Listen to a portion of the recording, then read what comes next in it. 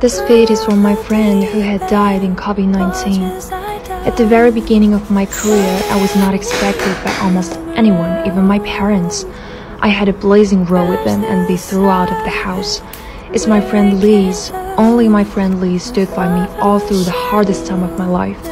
However, just as my career was taking off, the sudden outbreak of COVID-19 took her life. Dear strangers, all I want is only your like or comment. Maybe Liz could feel that in another world.